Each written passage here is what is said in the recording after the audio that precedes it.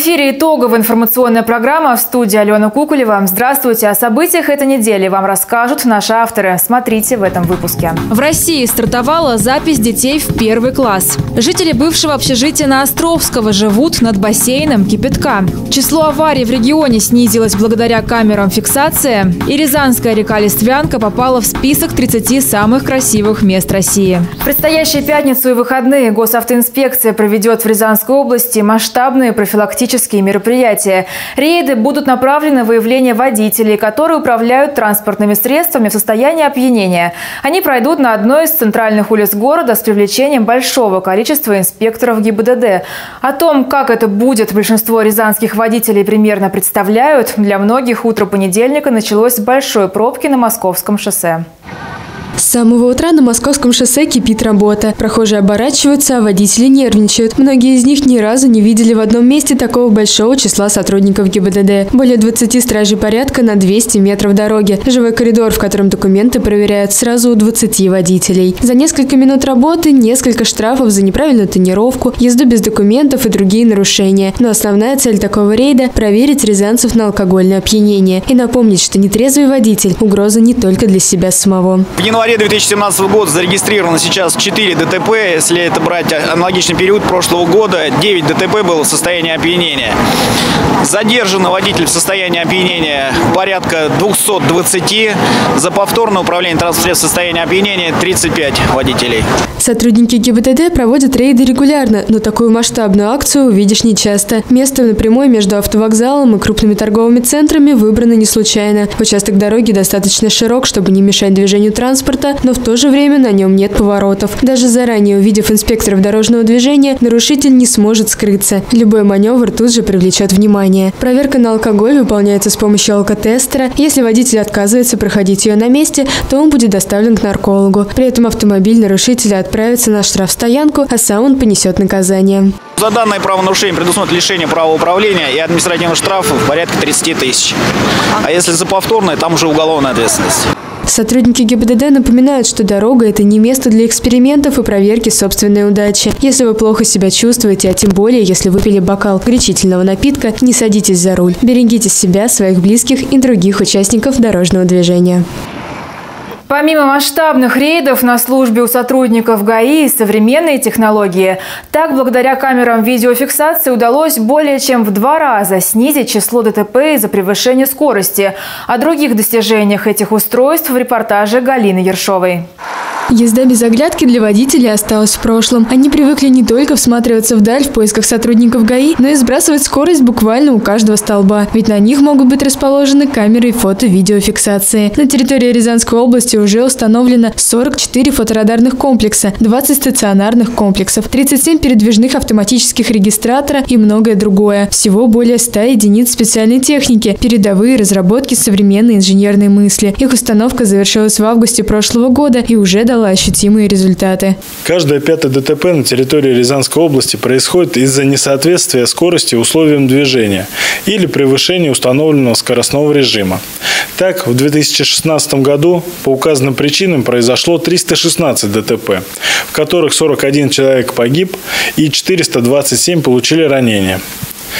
Здесь можно отметить, что снижение данного показателя аварийности в 2016 году на территории Рязанской области по сравнению с 2015 годом э, произошло более чем в два раза. Камеры видеофиксации расположены на самых опасных перекрестках города. Благодаря им водители стали вести себя осмотрительнее. Ситуация по числу ДТП уже улучшилась на пересечении Первомайского проспекта и улицы Каширина, пересечении Московского шоссе с улицей Западной. Трассы федерального значения тоже не остались без внимания. Благодаря комплексам фото видеофиксации снизилось число нарушений на трассе М5 и Рязань-Спасклепики. А вот невнимательные и спешащие водители рискуют приехать домой с большим числом квитанций о нарушении правил. Обработкой штрафов занимается Центр автоматической фиксации нарушений, которому в этом году исполняется 5 лет. В 2016 году сотрудниками Центра было вынесено более 1 миллиона постановлений по делам об административных правонарушениях, о наложении штрафа на общую сумму более 600 миллионов рублей.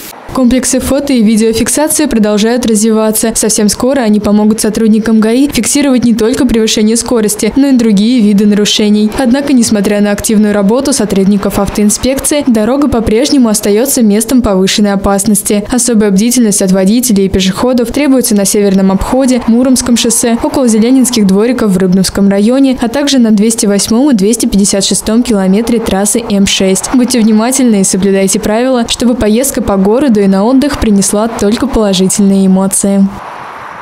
Несмотря на все усилия инспекторов в части безопасности на дорогах города, трагедии продолжают случаться.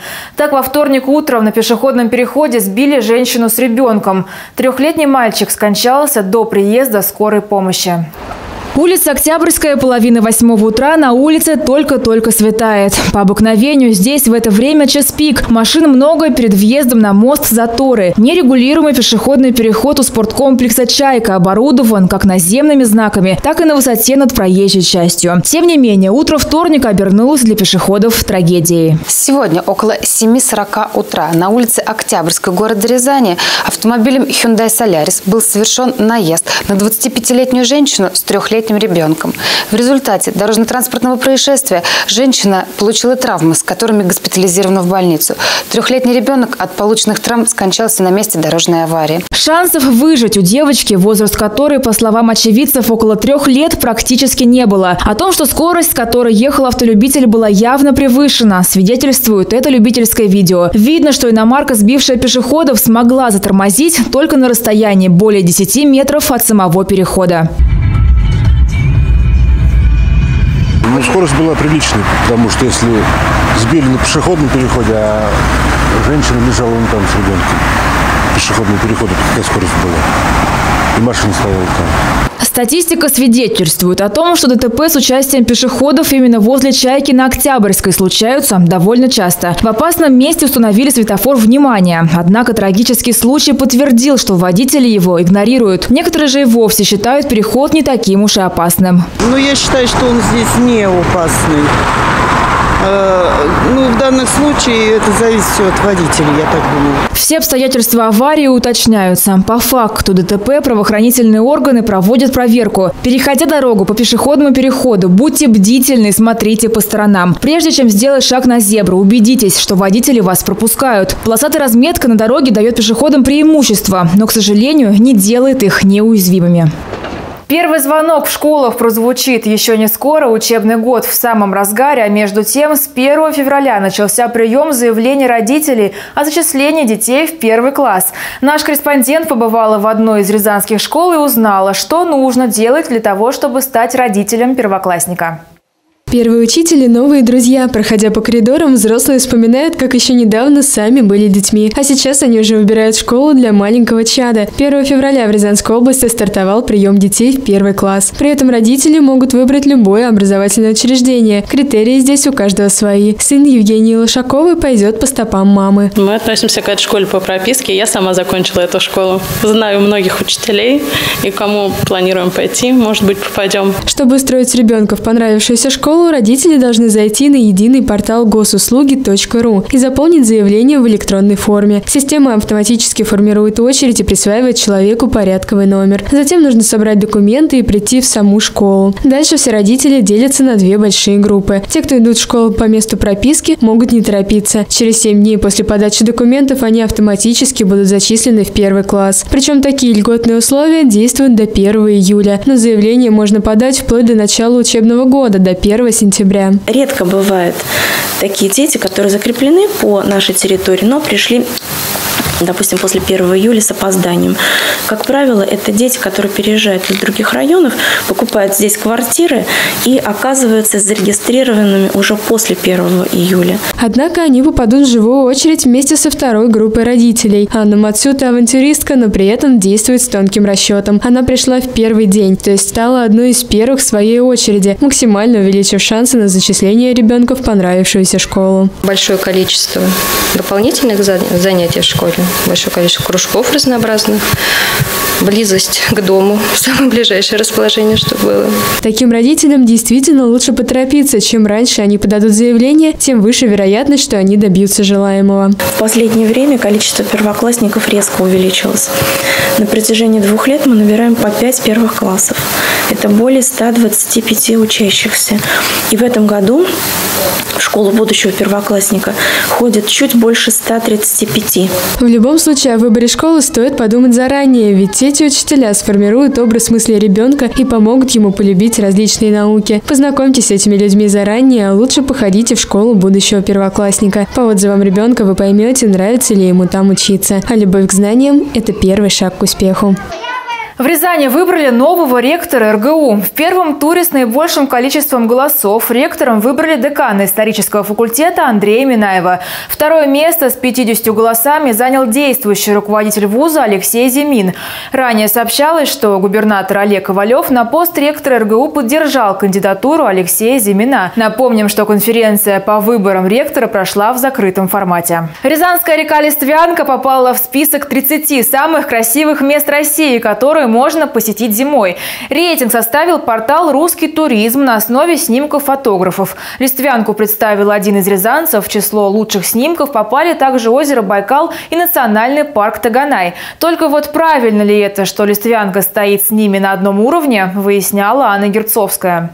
Морозная свежесть, синий, красота, снег. Первое впечатление от нахождения возле реки Листвянка, которая протекает в Рязанской области. Прекрасная, казалось бы, картина, но вот от чистоты Байкала этот водоем кардинально отличается. Словно земля и воздух, черное и белое, рай и ад. Река Листвянка является самой загрязненной в Рязанской области. В нее сбрасывается 85% от общего числа всех сбрасываемых сточных вод в регионе всеми предприятиями и организациями. По российскому законодательству предусматривается такой вариант развития событий только если стоки очищены. В 2015 году общее количество сброшенных сточных вод, поверхностные водоемы, составило 129 а, миллиона а, кубометров, более 129 миллионов кубометров сточных вод. Из них а, около 82 миллионов кубометров было сброшено без надлежащей очистки.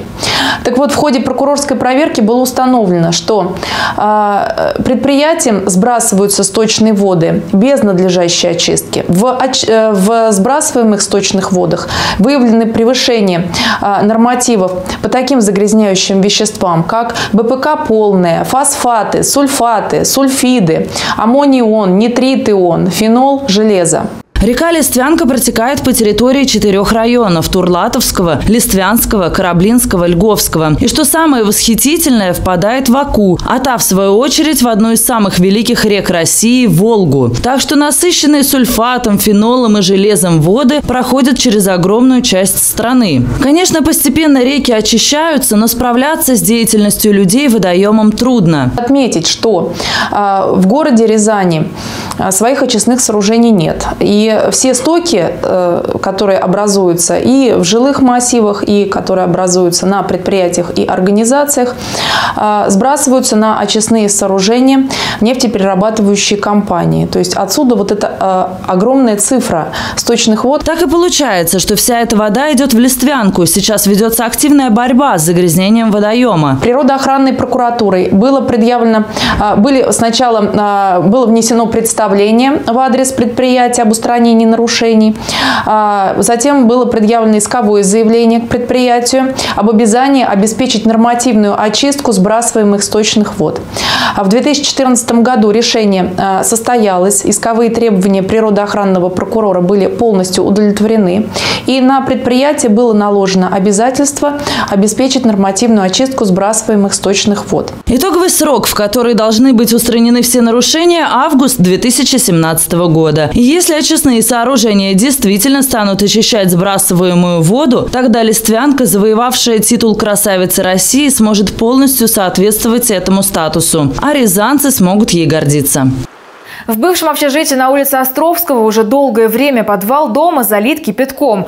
Прорыв отопления в бывшем общежитии произошел еще до Нового года. Три недели назад мы показывали сюжет об этой коммунальной проблеме, но на сегодняшний момент никаких улучшений не последовало. Люди живут над бассейном кипятка, в который превратился их подвал. Этот дом был построен в 1967 году. Однажды здесь только лишь проводился капитальный ремонт крыши, по словам жильцов, 7 лет назад. Больше ничего. Год за годом граждане борются с глобальной проблемой. и Каждый отопительный сезон их дом кипит словно чайник. Я здесь в этом доме живу 26 лет. И последних 5 лет вот такое безобразие творится. Прорывы труб внизу. Они в одном месте на трубу ставят хомут – в другом месте прорывается течь, затапливает подвалы. Высота подвала, по словам местных жителей, не более 70 сантиметров. Фундамента нет. Внизу земля. Так что мастерам приходится, проваливаясь в мокрую почву, буквально ползать по подвалу в тумане искать течь. Иногда это делают сами жители злосчастного дома. Там ничего не видно, но слышно очень отчетливо, что сифонит. В подвале шипит горячая вода из трубы, повсюду пар, образуется конденсат. Капли появляются на потолке и стенах, в самом подвале, в коридоре, комнатах, везде. Людям невозможно становится сушить свои вещи, они их постоянно перестирывают. Конечно, они все заплесневели. Вот гардероб. Ну, сейчас я к вам вернусь. Представить трудно, как в этом доме дышат люди. Первое ощущение при входе в подъезд, что вы попали в хамам, турецкую баню. Только слишком тяжелый и неприятный воздух. Проведя даже 10 минут в этом здании, мне стало трудно дышать. Оказывается, жильцы общежития все равно не могут привыкнуть к этому пару. Даже с маленькими детьми по ночам они спят с открытыми окнами в своих комнатах. Жильцы дома хотят, чтобы замена или капитальный ремонт труб был произведен в ближайшее время. Они готовы пережить отключение отопления. Не раз так такое уже случалось, поэтому у многих есть электрические обогреватели. 28 декабря я пошел в управляющую компанию из-за того, что полы были очень горячие, ходить по ним было нельзя. Они пришли, отключили отопление, и все новогодние праздники отопления не было. 10 января жильцам дали отопление, после чего в доме полопались трубы, а подвал залило горячей водой уже по накатанной. Вот так заботится о жильцах их управляющая компания. С управляющей компанией вообще у нас была городская роща. То есть мы узнавали, звонили в инспекцию, нам так, а, в инспекции нам сказали, что управдом. Сама, сам директор городской рощи говорит, что городская роща. Оказалось, что ответы жильцам на их запросы приходят от управляющей компании «Управдом», а пишут они свои претензии в городскую рощу. Граждане не понимают, что происходит. На проблему никто не реагирует. Люди собирали подписи и обращались к губернатору Рязанской области, но пока ничего. Они в отчаянии и вновь и вновь выкладывают посты в интернете и призывают СМИ помочь им. Одна из фотографий в соцсети уже привлекла к себе внимание общественников. Я, как член штаба Общероссийского народного фронта, решил подключиться к данной проблеме и попробовать попробовать э, помочь жителям решить э, данную ситуацию. Э, путем усилий штаба и инициативной группы, которая здесь была организована, мы написали предписание, ну, то есть прошение да, в жилинспекцию, соответственно, написали документы в администрацию и, соответственно, ждали ответа от жилинспекции. Жил, жилинспекция, как вы уже видели, то есть по документам свой ответ прислала. Соответственно, мы, в свою очередь, будем добиваться решения данного вопроса а, и дальше. Для того, чтобы вернуть жителям нормальные условия. Вся инициативная группа приходит к выводу, что нужно вновь обратиться в вышестоящие органы, чтобы управляющую компанию, которая отвечает за этот дом, как бы она ни называлась, заставили исправить катастрофическую ситуацию. Пока полы первого этажа, которые в основном деревянные, уже сильно гниют, не провалились в подвал, а все дети, живущие в общежитии, не приобрели заболевания дыхательной системы. Братья наши меньшие, как никто, страдают от морозов и, в отличие от людей, не всегда могут позаботиться о себе сами. Животным, которые находятся в Рязанском муниципальном приюте, в отличие от бездомных, повезло. Их есть кому накормить и обогреть. И день ото дня подобранных с улиц собак в городской службе по контролю за безнадзорными животными становится все больше. Отловы проходят регулярно. Рыжие, белые, черные. Кого-то сюда привезли со стройки, кого-то нашли в гаражах. Кто-то еще недавно бродил по улице в поиске еды. Это городская служба по контролю за безнадзорными животными. Когда-то бывшая лайка, где животных после отлова убивали, превратилась буквально в то место, где для собак начинается вторая жизнь.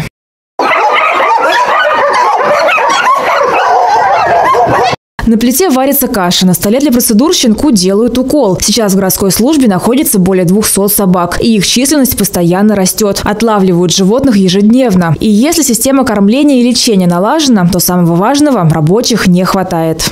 Самое важное – это, конечно же, люди. Нам очень нужны волонтеры, которые будут заниматься адаптацией собак, социализацией. То есть собаки с отлова часто приезжают недоверчивые. И чтобы найти им хозяина, нужно приучить к поводку, к ошейнику. Поэтому нам очень нужны волонтеры. Здесь не только дворняжки, но и породистые собаки. Животных после отлова лечат, прививают и стерилизуют. Затем ищут новых хозяев. А пока они живут в этих вольерах, им необходима помощь горожан. Например, когда на улице минус 15, в клетке нужны подстилки, и рязанцы откликаются. Эти матрасы и покрывала привезли сегодня. И у пушистых друзей в клетке становится гораздо теплее и уютнее.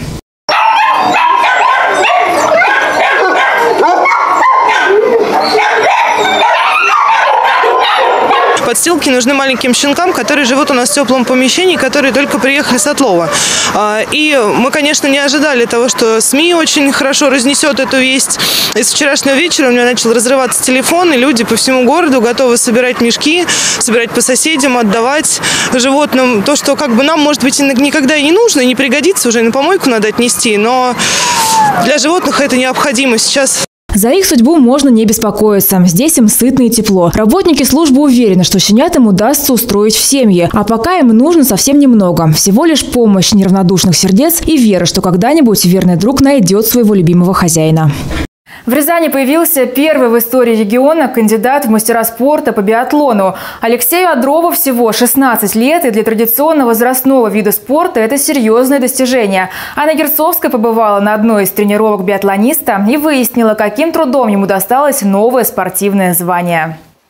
Алексей Адров встал на лыжи еще в 4 года. На какой-то период он даже откладывал их в сторону. Сейчас все его свободное от учебы в Рязанском строительном колледже время занимают тренировки на биатлонной трассе. Прошедшие соревнования в Смоленской области, на которых собрались лучшие спортсмены Центрального федерального округа, завершились для него победой в спринте. До этого в индивидуальной гонке он показал пятый результат с шестью промахами. Бежало более 40 спортсменов. В таком виде спорта случайностей не бывает, и явные лидеры выделяются от гонки к гонке. В составе команды Алексея был и его отец Виталий Адров, который всю свою жизнь неразрывно связан с лыжами. И он в спринте уже вышел, вышел скажем так, ну, более уверенным, наверное. Хотя, опять же, мы не ставили ему задач выигрывать. Однако с первых метров дистанции еще до огневого рубежа Алексей взял лидерство. Его вели тренеры, подсказывали, помогали. По одному промаху на первой и на второй стрельбе. За каждый из них по штрафному кругу в 150 метров. И все равно лидерство за Алексеем. Вышел на, когда на заключительный круг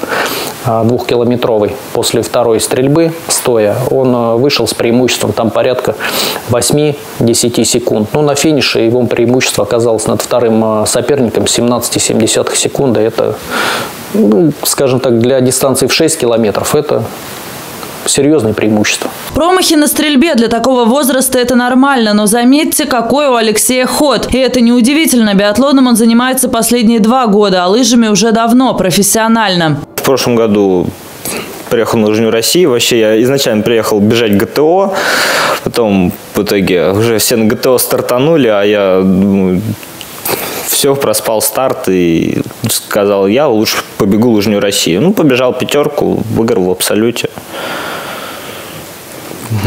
Чуть мне Буран на лыжи чуть не наехал. Я его, то есть, догнал.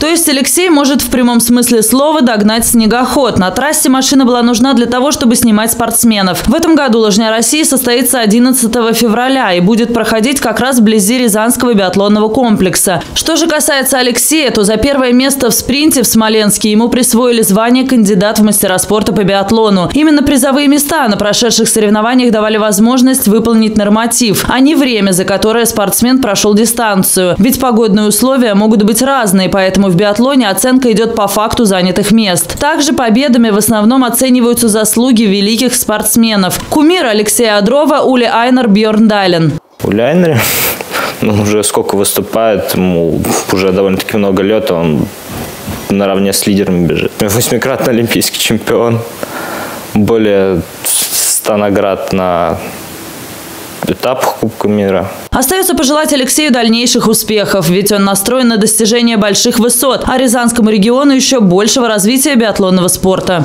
Такой была эта неделя. Я напоминаю, что все новости вы также можете увидеть на нашем сайте город62.тв. Мы прощаемся с вами до понедельника и желаем вам хороших выходных.